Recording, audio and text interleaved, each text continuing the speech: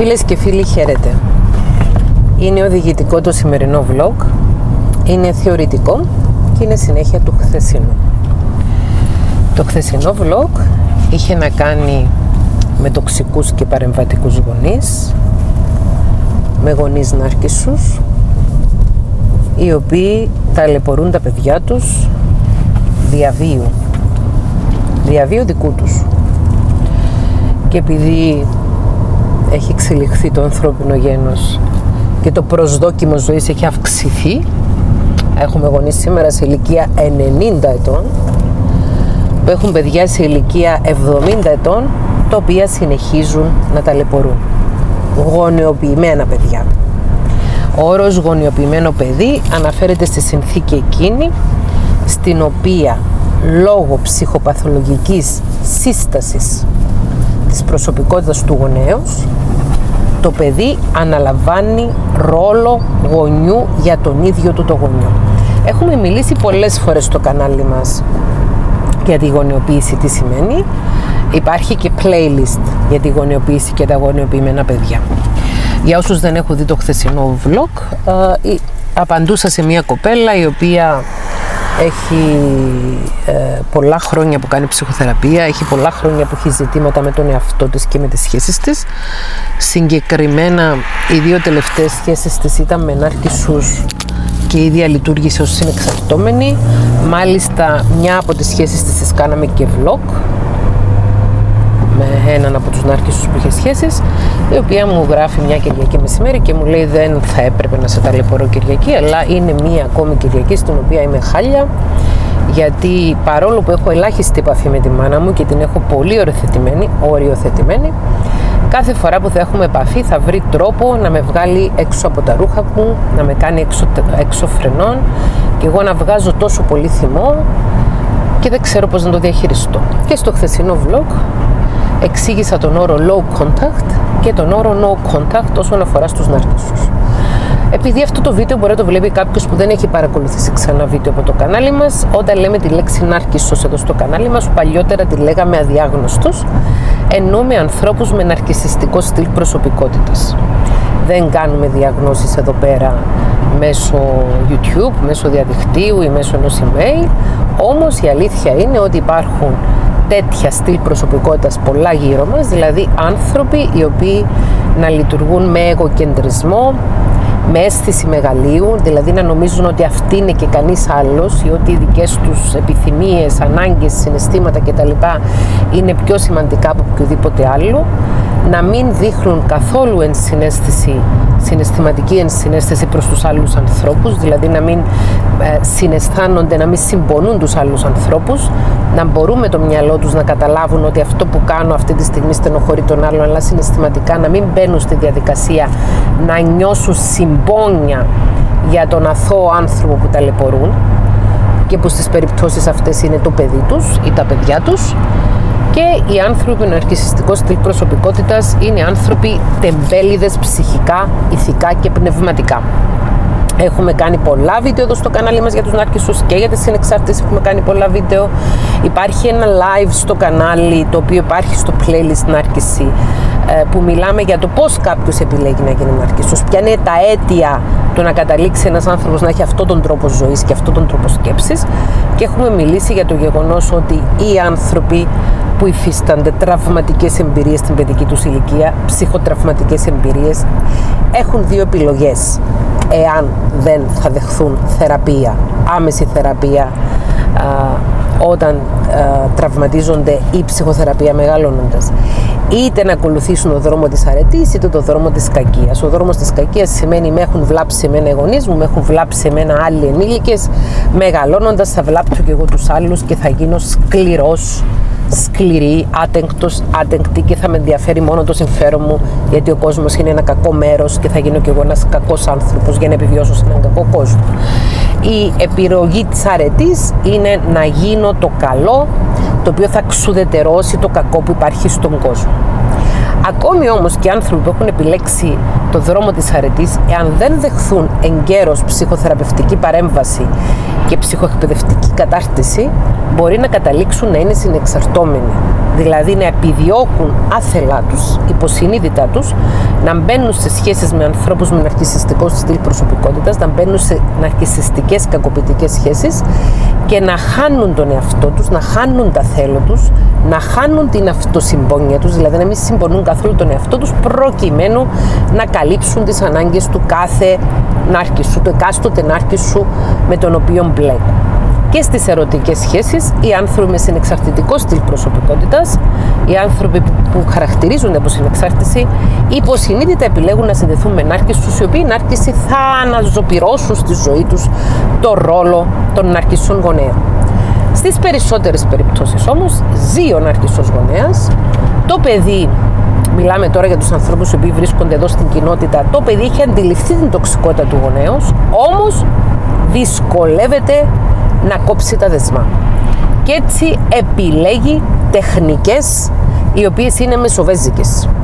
Έχουμε κάνει ένα βίντεο εδώ στο κανάλι το οποίο έχει τίτλο Grey Rock, in Grey Rocking, πώς να γίνεις γκρίζος βράχος, το οποίο μιλά για μια μεσοβέζικη ε, τεχνική αντιμετώπιση στον Άρκισο στις περιπτώσεις εκείνες στις οποίες είναι αδύνατον να αποφύγεις την οπική επαφή μαζί τους. Για παράδειγμα, για παράδειγμα, μια τέτοια περίπτωση είναι να είσαι εργαζόμενος σε μια εργασία που για οικονομικούς λόγους να μην μπορείς εκείνη τη στιγμή να φύγεις από εκείνη την εργασία και να έχεις έναν προϊστάμενο, έναν συνάδελφο που να είναι ενάρκησος και να προσπαθεί να σε κακοποιήσει, οπότε εκεί αναγκαστικά θα γίνεις ένας γκρίζος βράχος.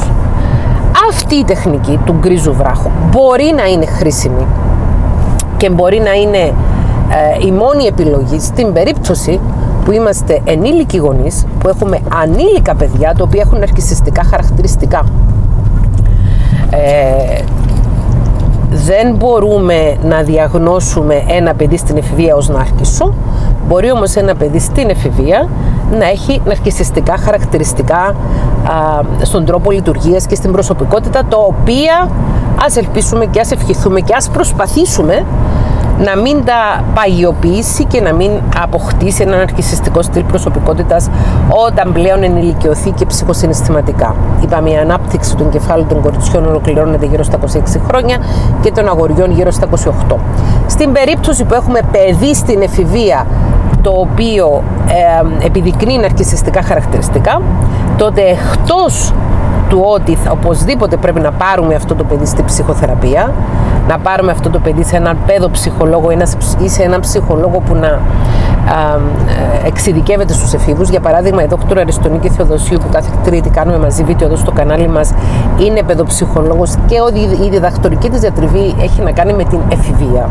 Δηλαδή η Αριστονίκη είναι ένα πολύ κατάλληλο, μια πολύ κατάλληλη θεραπεύτρια για να αντιμετωπίσει επιτυχώς θεραπευτικά εφήβους οι οποίοι μπορεί να παρουσιάζουν κάποια ναρκιστικά χαρακτηριστικά και λέω για την Αριστονίκη γιατί έχω και ίδια πείρα. Έχω και προσωπική πείρα από γονείς οι οποίοι στο παρελθόν έχουν, ε, έχουν αποταθεί σε μένα με τέτοια ζητήματα με τα ε, έφηβα παιδιά τους και μετά που τα παιδιά τους έκαναν θεραπεία με την Αριστονίκη, ψυχοθεραπεία με την Αριστονίκη να έχουν δει πολύ καλά αποτελέσματα και τη συστήνω. Όπως επίσης και οποιοδήποτε άλλος παιδοψυχολόγος ή ψυχολόγος με εξειδίκευση στους εφήβους θα μπορεί να βοηθήσει πάρα πολύ αυτά τα παιδιά. Λοιπόν, όταν έχουμε έφηβα παιδιά, τα οποία ανήλικα, ψυχοσυναισθηματικά ανήλικα, τα οποία έχουν αρχιστικά χαρακτηριστικά, εκεί ναι, πρέπει να τα πάρουμε στη θεραπεία, αλλά ίσως χρειαστεί να γίνουμε και λίγο γκρίζι βράχη προκειμένου να επιβιώσουμε. Όταν όμως είσαι ενήλικας και ο γονιός σου είναι επίσης ενήλικας. Και είσαι 40 χρόνων, και είσαι 50 χρόνων, και είσαι 30 χρόνων, και είσαι 35 χρόνων, και είσαι 28 χρόνων, και είσαι 60 χρόνων, και είσαι 70 χρόνων. Και έχεις το γονέα τον Άρκισο να σε παίζει κανονικότατα, να σε παίζει ψυχολογικά, να σου προκαλεί ενοχές, να χρησιμοποιείς τις όποιες ασθένειες ή την ηλικία του προκειμένου να σε χειραγωγεί και να σε προκαλεί ε, να εκδραματίζεις εσύ τα δικά του αρνητικά συναισθήματα και να σου ξυπνά με αυτόν τον τρόπο κάθε φορά το CPTSD, τη σύνθετη διαταραχή με τα τραυματικούς στρες, τότε τέτοιες μεσοβέζικες τεχνικές δεν θα σε σώσουν. Τώρα, επειδή είναι ένα θεωρητικό διοικητικό βλόκ, αλλά νομίζω είναι μια ευκαιρία για να κάνουμε ε, επανάληψη αρκετές έννοιες. Λοιπόν, σύνθετη διαταραχή μετατραυματικού στρες ή CPTSD, υπάρχει ένα βίντεο που κάναμε πρόσφατα στο κανάλι, είναι η πάθηση ονομάζω τον όρο, χρησιμοποιώ τον όρο πάθηση γιατί περιπάθησης πρόκειται, περιπαθήσεως πρόκειται, είναι η πάθηση από την οποία υποφέρουν τα ενήλικα, οι ενήλικες άνθρωποι που ως παιδιά έχουν τραυματιστεί ψυχικά. Είναι αυτή η συνθήκη στην οποία ένα βλέμμα, μία κουβέντα, μία αφορμή ξυπνάει ολόκληρο το τραύμα της παιδικής κακοποίησης. Και με, μία, με ένα trigger, trigger είναι η σκανδάλη στα αγγλικά, δηλαδή με ένα ερέθισμα το πρόσωπο το οποίο πάσχει από σύνθετη διαταραχή μετατραυματικού στρες παθαίνει συναισθηματική αναδρομή, όχι μνημονική αναδρομή. Δεν θυμάται ε, συγκεκριμένα την τάδε περίσταση που συνέβη και όταν ήταν 8 χρόνων, την τάδε περίσταση όταν ήταν 10 χρόνων, την τάδε περίσταση όταν ήταν 15 χρόνων, αλλά ξυπνά μέσα του εκείνη η πολύ άσχημη, δεινή, δύσκολη, ε, στενάχωρη συναισθηματική συνθήκη στην οποία ένιωθε αβοήθητο, στην οποία ένιωθε μόνος, στην οποία ένιωθε τρελό, στην οποία ένιωθε όλα εκείνα τα αρνητικά συναισθήματα κατά την περίοδο που κακοποιούνταν πρωτογενός. Λοιπόν, να το πω πιο λιανά. Εάν είμαστε επιζήσαντες παιδικής ψυχικής κακοποίησης ή και οποιασδήποτε άλλης μορφής κακοποίησης, είναι πολύ πιθανόν ως ενήλικες να υποφέρουμε από σύνθετη διαταραχή μετατραυματικού στρες. Το οποίο σημαίνει ότι εκεί που είμαστε στα καλά καθούμενα και δίχως προηγούμενα. Αν πάμε για παράδειγμα να δούμε τη μαμά μας, η οποία μαμά μας είναι νάρκισσος και με την οποία μαμά μας έχουμε πάει low contact, έχουμε αποφασίσει να έχουμε μειωμένες επαφές και οριοθετημένες. Αν πάμε να τις συναντήσουμε και η μάνα μας γυρίσει και μας δει με ένα επικριτικό βλέμμα έτσι, για παράδειγμα, τότε μπορεί ακόμη και μόνο ένα βλέμμα να αποτελέσει το ερέθισμα το οποίο να ξυπνήσει μέσα μας το συναισθηματικό τσουνάμι που να μας βάλει σε εκείνη την πολύ δύσκολη, πολύ δεινή συνθήκη ενός μικρού παιδιού που κακοποιείται. Και θα αρχίσουμε αναπόφευκτα, όχι επειδή είμαστε τρελοί, όχι επειδή είμαστε κακοί άνθρωποι, όχι επειδή κρατάμε μέσα μας κακία, αλλά επειδή ακριβώς έχουμε αυτή τη σοβαρή συναισθηματική πάθηση που ονομάζεται σύνθετη διαταραχή μετατραυματικού στρες, θα αρχίσουμε να αντιδρούμε όπως αντιδρούσαμε σαν μωρά, βάζοντας τις φωνές, χάνοντας την ψυχραιμία μας, χάνοντας τα λόγια μας, κάνοντας εκδραμάτιση, η λέξη εκδραμάτιση σημαίνει βγάζω προς τα έξω με πολύ ένταση αρνητικά συναισθήματα που υπάρχουν μέσα. Και είπα προηγουμένως ότι μπορεί τα παιδιά όταν βρίσκονται σε τέτοιες ψυχοπαθολογικές συνδέσεις με ενήλικες και υπερήλικες να έρθει στους γονείς οι οποίοι ερεθίζουν συνεχώς τα παιδιά τους ερεθίζουν με αρνητικότητα εννοώ τότε μπορεί τα νεύρα που θα βγάλουν τα παιδιά, οι φωνές που θα βγάλουν τα παιδιά, η χαοτική αντίδραση που θα βγάλουν τα παιδιά να είναι μια διέξοδος για να ξεδώσει ο γονέας. Με απλά λόγια. Η νάρκηση δεν θέλουν να αντιμετωπίζουν τη στενοχώρια μέσα τους. Η νάρκηση είναι τεμπέληδες ψυχικά, συναισθηματικά και πνευματικά. Οι νάρκησοι δεν θέλουν να διαχειριστούν το γεγονός ότι έχουν μέσα τους κομπλεξιλίκια, ότι έχουν μέσα τους φόβους, ότι έχουν ζητήματα. Οπότε αποφεύγουν να αναλάβουν την ευθύνη τους, αποφεύγουν να κάνουν ουσιαστική ενδοσκόπηση και θεωρούν ότι για τα αρνητικά συναισθήματα που έχουν μέσα τους φταίει το παιδί τους, φταίει η γειτονισά τους, φταίει ο ένας, φταίει ο άλλος, φταίει ο παράλληλος. Οπότε προκαλώντας έναν άλλον άνθρωπο, ερεθίζοντας το παιδί τους για παράδειγμα, το οποίο έχουν προσβάλει πάρα πολλές φορές κατά την παιδική του ηλικία, έχουν χτυπήσει πάρα πολλές φορές κατά την παιδική του ηλικία, έχουν κακοποιήσει ψυχικά και συναισθηματικά πάρα πολλές φορές κατά την παιδική του ηλικία, οπότε ερεθίζοντας τώρα το παιδί τους στο σήμερα, και το παιδί τους αρχίζει να αντιδράει, να ξεσπάει, να φωνάζει, να βρίζει, μπορεί να, να υψώσει τόνο της φωνής, να βγει εκτός αυτού, τότε αποκτά νόημα η στενοχώρια που νιώθουν μέσα τους. Δηλαδή λειτουργούμε άθελά μας όπως τη βαλβίδα που βγάζει τον ατμό από την κατσαρόλα πιέσεως. Δεν ξέρω για σας, αλλά εγώ προσωπικά δεν έχω καμία απολύτως όρεξη και καμία απολύτως διάθεση έστω και δύο φορές το χρόνο, έστω και τρεις φορές το χρόνο, έστω και μια φορά το μήνα να γίνομαι το, η η οποία θα βγάλει τις βρωμιές από μέσα, από τα, το εσωτερικά του οποιοδήποτε. Είτε με έχει γεννήσει, είτε με έχει χρυσώσει, δεν ξέρω εγώ τι, δεν έχω καμία διάθεση είναι παρατηρημένο ότι στις περιπτώσεις τις οποίες τα ενήλικα παιδιά συνειδητοποιούν τη βλάβη και τη ζημιά τη ψυχική που έχουν πάθει από τους γονείς τους μεγαλώνοντας και κατα... μπορεί να έχουν καταφύγει και για 10 χρόνια και για 15 χρόνια σε ψυχοθεραπεία και αντί να πάρουν τη σωτήρια απόφαση του no contact που σημαίνει κόβω κάθε σχέση και κόβω κάθε επαφή είναι παρατηρημένο ότι αν πάνε low contact τότε εκείνες τις φορές που ξέρει ο γονιός ότι θα σε δει και ξέρει ότι θα κάνει τρεις μήνες να σε ξαναδεί. Ξέρει ότι θα κάνει ένα μήνα να σε ξανακούσει στο τηλέφωνο. Θα βρει τον τρόπο να ρίξει τη χολή και να ρίξει το δηλητήριο. Και θα γυρίσει και από πάνω να σε κατηγορήσει ότι είσαι υπερευαίσθητος, ότι, ότι τα κάνεις όλα επίτηδες, ότι εκδραματίζεις καταστάσεις, ότι είσαι ιστερική, ότι είσαι ιστερικός, ότι είσαι άδικος, ότι είσαι κολλημένος στο παρελθόν και δεν ξέρω εγώ τι άλλο.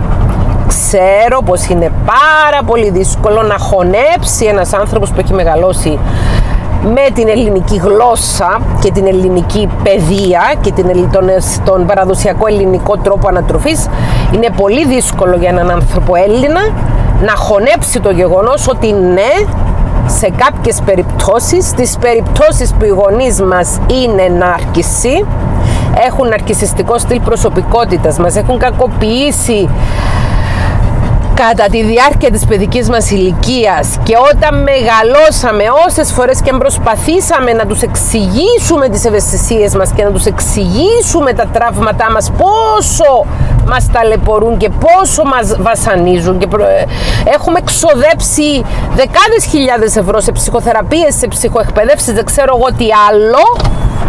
Και όμως εξακολουθούμε να ερχόμαστε σε επαφή μαζί τους, δεν θα γιατρευτούμε ποτέ δεν θα ησυχάσουμε ποτέ. Δεν θα γίνουμε φυσιολογικοί άνθρωποι ποτέ. Είναι πολύ δύσκολο για έναν Έλληνα να δεχτεί αυτό το πράγμα ότι πρέπει να κόψεις σχέσεις με τον γονέα σου για να γίνεις φυσιολογικός άνθρωπος. Είναι πάρα πολύ δύσκολο. Πάρα πολύ δύσκολο. Γι' αυτό κάνω αυτό το βίντεο σήμερα, γιατί έχω λάβει αμέτρητα mail από χθες. Αμέτρητα. Και τώρα, καθώς σας μιλάω, ε, έρχονται ειδοποιήσει στο κινητό μου με mail και βλέπω τον αποστολέα του mail και ξέρω και τι θα μου πει. Ξέρω ότι θα μου πει, μα είναι κρίμα η μάνα μου, μα είναι μεγάλη σε ηλικία η μάνα μου, μα ο πατέρας μου έχει καρκίνο, μα το ένα, μα το άλλο, μα το παράλληλο. Το no contact σημαίνει κόβω κάθε επαφή. Δεν έχω καθόλου σχέσεις, δεν τους παίρνω ποτέ τηλέφωνο, δεν απαντώ ποτέ τα τηλέφωνα τα οποία με παίρνουν, δεν απαντώ τα μηνύματα, δεν επιτρέπω στους υπτάμενους πυθίκους, στους flying monkeys, στους ανθρώπους που στέλνουν απεσταλμένους οι γονείς μου με τους οποίους έχω πάει no contact δεν επιτρέπω να μου μεταδώσουν αυτά τα μήνυματα. Το low contact σημαίνει περιορίζω το χρόνο και τις επαφές που θα έχω μαζί τους. Όπως έχω εξηγήσει και στο χθεσινό βίντεο, το low contact δεν ωφελεί. Όταν ο άλλος είναι διαπιστωμένος νάρκισσος, όταν ο άλλος είναι παλιοχαρακτήρας άμα πας low contact θα πικρίσει ακόμη περισσότερο, θα πικρέψει ακόμη περισσότερο. Και κάθε φορά που θα τον την συναντάς ή που θα απαντάς στο τηλέφωνο θα βρίσκει με όλο και πιο στοχευμένο τρόπο, με όλο και πιο στοχευμένα τρόπο να ρίξει χολή και να σε κάνει χάλια, να σου ξυπνήσει το CPTSD και να σε κάνεις κατά. Λοιπόν, θα κατέβω τώρα να πιάσω κάποια πράγματα εδώ από το μαγαζί που ήρθα και στην επιστροφή, δηλαδή στο δεύτερο μισό του βίντεο, θα μιλήσουμε για το πώς το κάνουμε το no contact, πώς το αποφασίζουμε και πώς το εκτελούμε. Το δεύτερο μισό του βίντεο λοιπόν στην επιστροφή από τα ψώνια πώς αποφασίζουμε και πώς ανακοινώνουμε το no contact στον άρχισο γονέας, στους άρχισους γονείς. Για να το αποφασίσουμε, οι περισσότεροι από εμάς πρέπει να φτάσουμε στα άκρα. Δηλαδή πρέπει να αντιληφθούμε ξανά και ξανά ότι το low contact δεν έχει κάποιο θετικό αποτέλεσμα, αλλά αντιθέτως δημιουργεί ίσως και περισσότερα προβλήματα από τότε που είχαμε κανονική επαφή.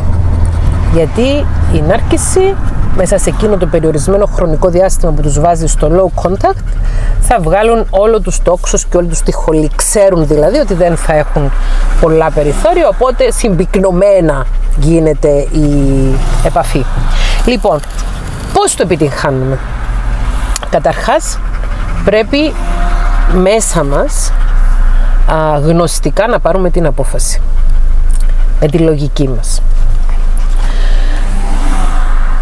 Όσοι έχετε παρακολουθήσει τα webinars, τα πρόσφατα που κάναμε μαζί με τη Δ. Αριστονίκη Θεοδοσίου για το πώς μπορούμε να έχουμε υγιείς σχέσεις στις μέρες μας, η Αριστονίκη μας εξήγησε την έννοια της υψηλής διαφοροποίησης, που είναι ένας στόχος της ψυχοθεραπείας. Υψηλή διαφοροποίηση σημαίνει ένας άνθρωπος να μπορεί με το λογικό του, με το λογικό κομμάτι του μυαλού του, του εγκεφάλου του, με το μυαλό του, με τη λογική του, να μπορεί να ελέγχει το συνέστημα του. Χρειάζεται με τη λογική να συνειδητοποιήσουμε ότι δυστυχώς δεν δουλεύει το low Το δοκίμασα και εγώ πολλά χρόνια. Πάρα πολλά χρόνια. 21 χρόνια το έχω δοκιμάσει το low κάποιες περιόδους, ξέρω εγώ, δύο-τρεις μήνες χωρίς καθόλου επαφή, μετά μια επαφή με προσοχή, μετά κάποιοι άλλοι μήνες χωρίς επαφή, πάλι μια επαφή με προσοχή. Δοκίμασα κάποιες φορές στο παρελθόν το no contact με αποτέλεσμα να λυγίζω από τα τηλεφωνήματα, από τις ε, παρακλήσεις ή από τις παρεμβολές των υπτάμενων πυθίκων. Οι υπτάμενοι πύθικοι είναι οι άνθρωποι που βρίσκονται γύρω από τους νάρκησου και μεταφέρουν τα μηνύματα τους και εξυπηρετούν τα συμφέροντα τους. Δηλαδή σου λένε εγώ θα βοηθήσω. Ναι, εγώ είμαι ένας καλός άνθρωπος και αντιλαμβάνομαι τώρα ότι αυτή η μητέρα, αυτός ο πατέρας είναι πολύ στενοχωρημένοι γιατί το παιδί τους έχει πάει no contact και δεν, παρα, δεν αντιλαμβάνεται την αλήθεια ότι είναι πολύ στενοχωρημένοι γιατί δεν έχουν που να βγάλουν το όξος και τη χολή τους ή είναι πολύ στενοχωρημένοι γιατί πλήττεται ο ναρκισισμός τους και νιώθουν ντροπή που τα παιδιά τους τους έχουν απορρίψει και τους έχουν ξεμπροστιάσει και αρχίζουν να παίρνουν τηλέφωνα θείες, θείοι, αδέρφια ξέρω εγώ και σκέψουν τη μάνα σου και σκέψουν τον πατέρα σου και έχουν το τάδε πρόβλημα υγείας και αν πεθάνουν θα έχεις το κρίμα τους και δεν ξέρω εγώ τι άλλο και όλες αυτές οι επικλήσεις στο συνέστημα κλπ. κλπ. Ε, όσες φορές ε, υποκύπτουμε στις συναισθηματικές επικλήσεις ή όσες φορές πάμε πίσω λόγω κακώς νοούμενων συμφερόντων και συνήθως τα συμφέροντα τα οποία επικαλούμαστε είναι οικονομικά. Λέμε για παράδειγμα, οι γονείς μου έχουν χρήματα, εγώ είμαι με ένα μισθός, μισθοσυντήρητο. Αν δουλέψω, έχω χρήματα, δεν δουλέψω, δεν έχω. Αν μου συμβεί κάτι, τι θα γίνει. Δεν είναι σωστό, έχω παιδιά για παράδειγμα, να σταματήσω να μιλάω στους γονείς μου, οι οποίοι ε, μπορούν να με βοηθήσουν οικονομικά με παραστεί ανάγκη. Το άλλο το πολύ έτσι σύνηθες στις μέρες μας, δεν έχω που να πάω. Μένω μαζί τους λόγω κρίσης, λόγω δυσχερών οικονομικών συνθηκών και δεν έχω που να μείνω. Σε αυτούς που δεν έχουν που να μείνουν ε, θα ε, απευθύνω το εξής ερώτημα. Εάν οι γονείς σου ήταν πεθαμένοι αυτή τη στιγμή, τι θα έκανες, αν δεν υπήρχαν. Κάποιοι θα πούμε ότι θα τους είχα κληρονομήσει. Ξέρω ότι θα υπάρξει αυτή η απάντηση, θα τους είχα κληρονομήσει. Και σε αυτή την απάντηση θέλω να πω αν επιβιώσεις τους κληρονομήσεις. Αν επιβιώσεις. Ε, long story short, ας κάνουμε τη μακριά, τη μακριά ιστορία κοντή, ας, ας, μιλήσουμε πιο σύντομα και πιο πρακτικά. Όσο πιο νωρίς συνειδητοποιήσουμε ότι η οποιαδήποτε βοήθεια, είτε πρακτική είτε οικονομική, θα μας δώσουν οι τοξικοί γονείς μας, την πληρώνουμε πανάκριβα σε αίμα και σε ψυχή και σε ψυχική και σωματική υγεία, τόσο πιο εύκολα θα πάρουμε την απόφαση για no contact. Χρειάζεται απόφαση για no contact. Χρειάζεται. Μπορεί να προσπαθείς για 20 χρόνια, μπορεί να προσπαθείς για 30 χρόνια, για 40 χρόνια μέσω low contact, να προσπαθείς να τους εξηγήσεις να καταλάβουν. Δεν υπάρχει περίπτωση να καταλάβουν. Δεν υπάρχει περίπτωση να καταλάβουν. Όταν ένας άνθρωπος είναι 40, 50, 60, 70, 80, 90 χρονών και δεν έχει καταλάβει και δεν έχει ε, λειτουργήσει συναισθητικά δεν θα αρχίσει ξαφνικά να, να καταλαβαίνει και να λειτουργεί συναισθητικά σε μεγάλη ηλικία επειδή το παιδί του το οποίο πάει και κάνει ψυχοθεραπεία και κάνει ψυχοεκπαίδευση προσπαθεί να το εξηγήσει. Όχι, δεν θα καταλάβει. Ψυχολόγος να είναι το ίδιο το παιδί δεν θα καταλάβει. Μια συνάδελφος μου γράφει χθες το βράδυ σε ευχαριστώ για το βίντεο που κάνεις για μένα. Δεν είναι για εκείνη που το έκανα, αλλά ε, το, το πήρε και για εκείνη. Ξέρω πολλούς ψυχολόγους που έχουν τέτοιες σχέσεις με τους γονείς τους. Πολλούς. και γιατί το λέω, ξέρω πολλούς ψυχολόγους που έχουν τέτοιες σχέσεις, γιατί αν οι ψυχολόγοι οι ίδιοι δεν μπορούν να δώσουν στους γονείς τους, τους ιδίους, να καταλάβουν, τους γονείς του ψυχολόγου δηλαδή, να καταλάβουν την τοξική τους δράση, πώς θα μπορέσει ο καθένας που δεν είναι ψυχολόγος και απλώς ψυχοεκπαιδεύεται και κάνει ψυχοθεραπεία να διδάξει στους γονείς του την ενσυναίσθηση και την ανθρωπιά. Η ανθρωπιά δεν διδάσκεται. Είτε έχεις αποφασίσει να, να είσαι άνθρωπος και να συμπονείς τους άλλους, είτε δεν έχεις πάρει, είτε δεν έχεις πάρει αυτή την απόφαση. Ας, βάλουμε, ας συμπονέσουμε λίγο το ζώο μας τώρα και ας του βάλουμε λίγο νερό να πιει. Λοιπόν, άρα χρειάζεται με τη λογική μας να αποφασίσουμε ότι θα πάμε no contact. Με τη λογική μας. Λογική απόφαση. Και κάθε φορά που μας γίνεται επίκληση στο συνέστημα να επιστρατεύουμε τη λογική μας για να μας επαναφέρει στην τάξη. Πρέπει να το κάνουμε σαν να εκτελούμε ιατρική συνταγή χρειαζόμαστε οπωσδήποτε ψυχοθεραπευτική στήριξη την περίοδο που θα πάμε no contact οπωσδήποτε. Και χρειαζόμαστε και peer support, δηλαδή να κάνουμε παρέα, να επικοινωνούμε με ανθρώπους οι οποίοι έχουν παρόμοιο τρόπο σκέψης, με ανθρώπους οι οποίοι έχουν αντιμετωπίσει επιτυχώς παρόμοια προβλήματα στο παρελθόν ή αντιμετωπίζουν στο παρόν παρόμοια προβλήματα, για να δίνουμε στήριξη ο ένας στον άλλο. Ξέρω είναι πάρα πολύ δύσκολο. Είναι εξαιρετικά δύσκολο. Ξέρω ότι κάποιοι από εσάς θα κλείσετε αυτό το βίντεο και θα πείτε δεν θέλω να ακούσω Δεν μπορώ να γίνω ένας τόσο σκληρός άνθρωπος, δεν μπορώ να γίνω ένας τόσο κακός άνθρωπος ώστε να σταματήσω να έχω επαφές με τους γονείς μου. Όμως, αν δεν σταματήσεις να έχεις επαφές με τους γονείς σου, γίνεσαι τόσο σκληρός και τόσο κακός άνθρωπος προς τον εαυτό σου και επιδεικνύεις πλήρη έλλειψη αυτοσυμπόνιας. Δεν πονάς τον ίδιο σου τον εαυτό. Πηγαίνετε στα σχόλια του χθεσινού βίντεο και υπάρχουν τρεις-τέσσερις πολύ χαρακτηριστικές ιστορίες που έχουν γραφτεί στα σχόλια από ε, ανθρώπους που παρακολούθησαν το βίντεο για ιστορίες παιδιών, τοξικών γονέων, οι οποίοι δεν τόλμησαν να πάνε no contact και έχασαν την ίδια τους τη ζωή. Τραγικές ιστορίες και αληθινές. Λοιπόν, το αποφασίζω με τη λογική μου ότι θα πάω no contact. Προετοιμάζομαι στη ψυχοθεραπεία μου για αυτό. Ανακοινώνω στους γονείς μου ότι επειδή εδώ και πολλά χρόνια από τότε που έχω γεννηθεί μέχρι σήμερα η σχέση μας δεν είναι υγιής και επειδή κάθε φορά που ερχόμαστε σε επαφή άθελα σας ίσως μου προκαλείτε κακό. Επειδή λειτουργείτε με ένα συγκεκριμένο τρόπο ο οποίος είναι τραυματικός για μένα και επειδή έχω ξοδέψει ένα σωρό χρήματα στη ψυχοθεραπεία και προσπαθώ τόσα πολλά χρόνια και δεν βλέπω αποτέλεσμα και επειδή έχω παρατηρήσει ότι κάθε φορά που έρχομαι σε επαφή μαζί σας χαλιέμαι ψυχολογικά πέφτει η ψυχική μου δύναμη. Βρίσκω τον εαυτό μου να κάνει αυτοκαταστροφικές συμπεριφορές μετά. Επειδή θέλω και εγώ επιτέλους να ζήσω υγιώς και να ζήσω ελεύθερα μετά από πολλή σκέψη μετά από πολλή περίσκεψη μετά από πολλές προσπάθειες που έχω κάνει και τις γνωρίζετε τις προσπάθειες που έχω κάνει έχω καταλήξει στο συμπέρασμα ότι για να επιβιώσω ψυχικά και σωματικά πρέπει να μην έχω καμία απολύτως επαφή μαζί σας.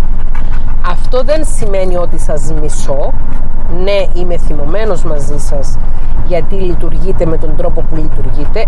Όμως, αναλαμβάνω την ευθύνη μου ως ενήλικας να προστατέψω το δικό μου εαυτό από την τοξική επίδραση που έχει διάδραση μου με εσάς. Οπότε συνειδητά αποφασίζω να διακόψω τις σχέσεις μου μαζί σας και να σας αγαπώ από μακριά.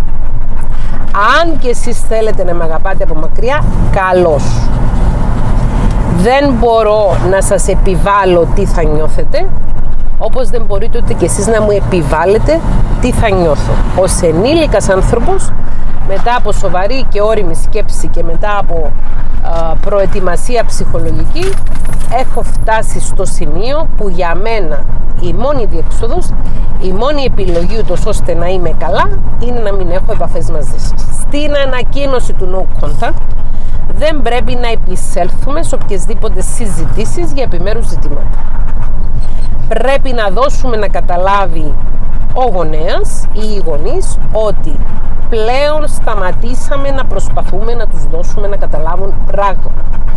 Τη σηκώσαμε τα χέρια ψηλά και σώζουμε ότι, οτιδήποτε μπορεί να σωθεί. Σκεφτείτε μια σκηνή στην οποία παίρνει φωτιά το σπίτι σας και μέσα στο σπίτι σας υπάρχουν τα χρυσαφικά σας, υπάρχουν οι ηλεκτρονικοί σας υπολογιστές, υπάρχουν τα κινητά σας τηλέφωνα, υπάρχουν ε, κάποια γραπτά σας, υπάρχει το παιδί σας που κοιμάται στην κούνια του, υπάρχει το κατοικίδιο σας κλπ. κλπ. Ποιον θα σώσετε πρώτα; Θα τρέξετε να σώσετε την τηλεόραση, τον ηλεκτρονικό υπολογιστή, το κινητό και τα γραπτά ή θα πάτε κατευθείαν προς το παιδί και το κατοικίδιο; Θα σώσετε τα ζωντανά πλάσματα; Ή τα αντικείμενα. Με αυτό δεν εννοώ ότι οι γονείς μας είναι αντικείμενα, αλλά όταν το δικό μας σπίτι πιάνει φωτιά, πρέπει να σώσουμε εμάς που είμαστε στο δικό μας σπίτι. Δεν είναι το δικό του σπίτι που πιάνει φωτιά κάθε φορά που συναντιόμαστε. Είναι το δικό μας σπίτι που πιάνει φωτιά. Αν μας πούν ότι ναι, μα γιατί νομίζεις εμείς είμαστε καλύτερα από σένα; Νομίζεις ότι εσύ χαλιέσαι μια φορά όταν βρισκόμαστε, εμείς χαλιούμαστε δέκα; Θα τους πείτε ναι, το δέχομαι. Και γι' αυτό το λόγο, ένα, να ένας παραπάνω λόγος για να πάμε no contact. Επειδή και εσείς χαλιέστε. Τους ενημερώνουμε για το no contact, τους ενημερώνουμε γραπτός, μέσω γραπτού μηνύματος, μέσω email ή μέσω ε, κυριολεκτικά γραπτού μηνύματος. Γράφουμε ένα μήνυμα σε ένα χαρτί και τους το στέλνουμε, τους το ταχυδρομούμε, τους ενημερώνουμε και μετά κόβουμε κάθε σχέση απολύτως.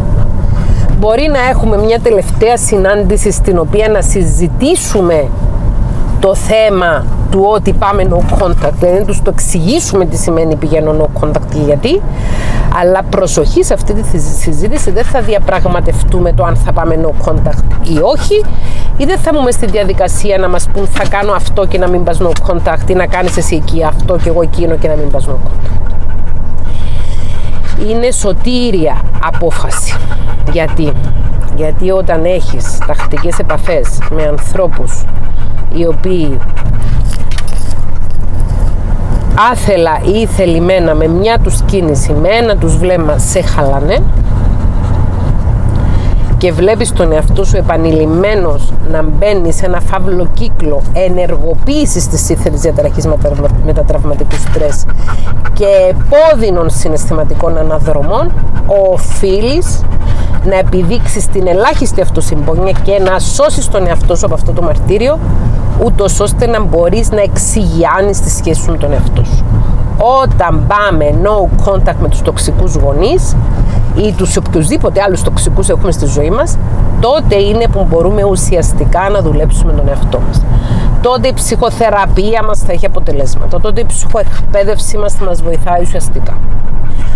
Αν δεν πάμε no contact με τους ε, τοξικούς, έχουμε συνεχώς ένα επίπεδο δηλητηρίου στη ψυχή μας και στο συνέστημά μας, το οποίο δεν μας αφήνει να γιάνουμε, να γιατρευτούμε ψυχικά και σωματικά, δεν μας αφήνει να ερεμήσουμε, δεν μας αφήνει να προκόψουμε και θα συνεχίσουμε να κάνουμε τα ίδια ηλίθια λάθη που έχουμε κάνει στο παρελθόν.